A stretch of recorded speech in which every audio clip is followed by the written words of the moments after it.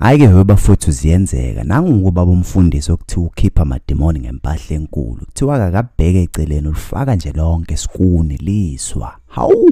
Mase kushiwo-ke kuthiwa lento iqale ngonyaka odlule ngey'khathi zokuphela konyaka. Lapho ubaba umfundisi ebesenokishumayela iy'ndaba ey'thinta ucansi phela ukuze asize amakhaphula ashadile mayelana ney'ndaba zokuthi umthokozisa kanjani na umuntu wakho ekamerweni. Kuthe ngokuhamba kwesikhathi-ke kuthiwa ubaba umfundisi uke wavula ithuba lokuthi ahlangane nabazalwane bakhe ngamunye ngamunye ngasese ukuze athole ithuba lokuthi abaluleke ngey'nkinga zabo ey'thinta ucansi. Yenzeka kuphi njalo yonke lento kuthiwa emva kwendlu yesonto bekukhona indlu nje encane e-one room la bekuhlala khona izinto zesonto. Manje ubaba umfundisi benokusebenzisa yona-ke le ndlu ukuze akwazi ukubamba le mihlangano yakhe.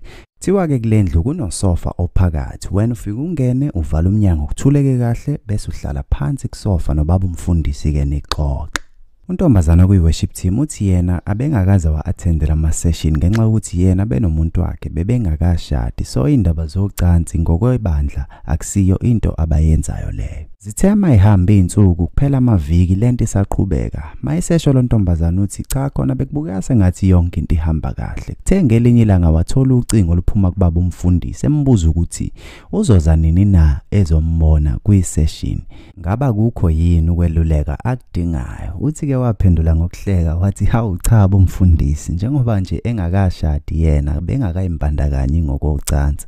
Uthi kumfundisi naye waphendula ngokuncokola wathi he kuyicala njalo ukuthi uqamba mangaphambi komfundisi wakho. Babe sebehleka-ke bavala ucingo kanjalo.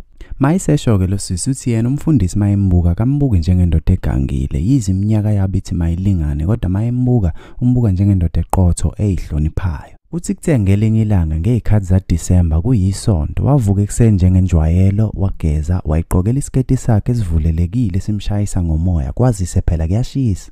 Njengamalungu esonto kuthi kumele befike ele enkonzweni ukuze phela balungiselele. Nangempela ithema iqala inkonzo yahamba kahle kwahamba kahle. Ithema ingena umfundisi kuyaziwa ukuthi kule nyanga kaDisemba umfundisi ukhuluma kakhulu kulezi zocansi. So njalo mayishumayela ethinta lezi indaba uthi hayi abazalwane ngathi uyabagidaza ngoba kuvele kuhleka into ongakazi uyibona uthi ke ngaleli langa ke kwenzeka into ehlukile ngoba wathi esaphakathi nayo inkonzo kusamnandi kuhlekwa wayimisa wathi hayi khona angayizwa kahle la khona umoya angawuzwa kahle.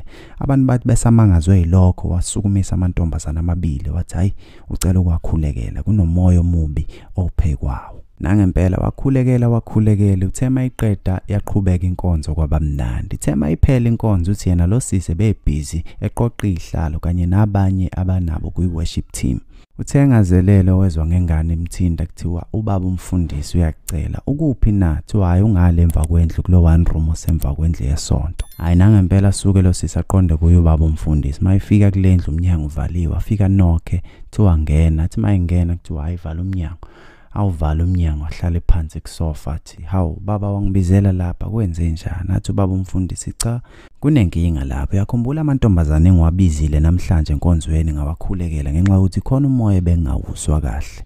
Nakuwena-ke kunjalo kunomoya engingawuzwa kahle lapha kuwe kodwa-ke ngikhetha ukungakubizi phakathi nabantu ngenxa yamehla abantu.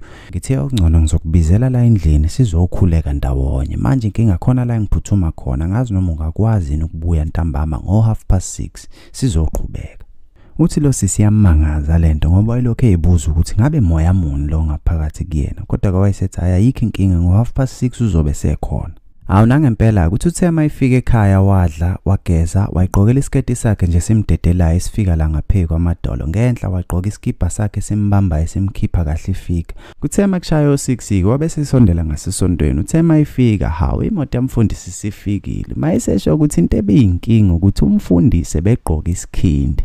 Kwazise phela insizwe eseyincane lena. Kodwa manje kulesi sikhindi besigqokile into yakhe lo sisi uthe beyibona njengoba injalo. Hawu. Mayisesho ukuthi bathe ukuxoxa